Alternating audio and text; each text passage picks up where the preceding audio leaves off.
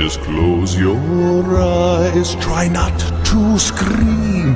The night has come, it's Halloween. Uh, one of the props uh, that I've gotten all finished up actually was a prop I started last year working on uh, his three axis arm motion.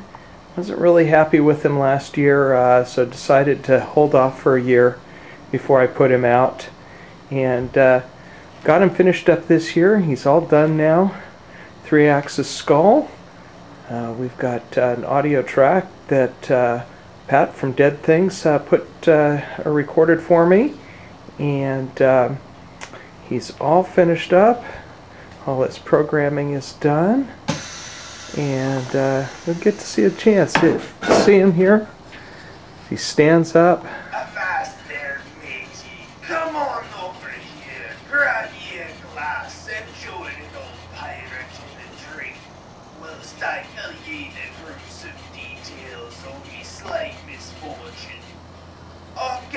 Efforts could not save our fine ship, but as luck would have it, we found ourselves here. And shipshape this Anchorage be for pleasure-seeking rogues. Drink up, me hearties, yo-ho! A little bit of detail about how he's put together. Of course, we have a pneumatic cylinder hidden down here in this lower box. And uh, shaft coming up right there.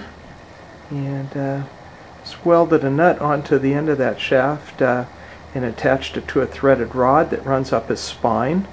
Uh, I actually put that up through his spine, filled the spine up uh, with great stuff. It's got a few washers and nuts on that uh, threaded rod through his backbone uh, to hold it all in place.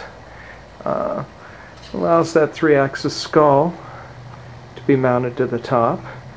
So he's got four uh, servos in his head to control the three axis and the jaw movement, lighted eyes, and then three servos uh, to run the three axis arm movement. And um, got another video that kind of shows that uh, three axis. I'll put a link on it. Uh, so if you're interested in that, you can go see that.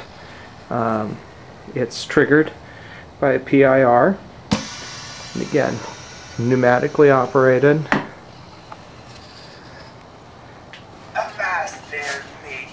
Come on over here, grab ye a glass, and join an old pirate in the drink, whilst I tell ye the gruesome details of me slight misfortune. And you can see that it's uh, mounted on a metal drawer slide there. Would have it, we found ourselves here, at ship shape this Anchorage be for pleasure-seeking rogues. Drink up, me hearties, yo-ho! And then this electronics package. It's all mounted here on the back. Uh, board power strip there for all the electronics to plug into. And then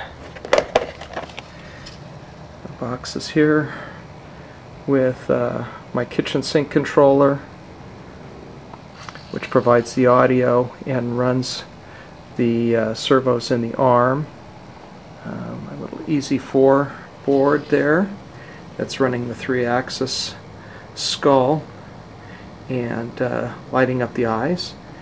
And then there on the side is uh, Scary Terry board the T-Straub uh,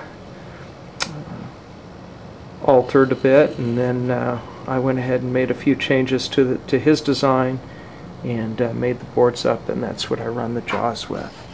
So that's the electronics uh, that runs him. He's got a set of computer speakers set in his head or uh, in his chest. And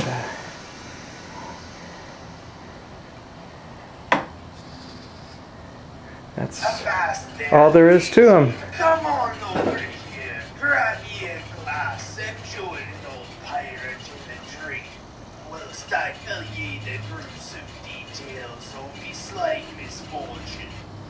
Our gallant efforts Thanks again to Pat for his work on the audio track. We found ourselves And uh, to Tyler's contribution with the uh, Jaw Servo controller board. Drink up, me hearties, yo-ho! And he's all ready to go. Join the rest of the pirate crew for Halloween this year.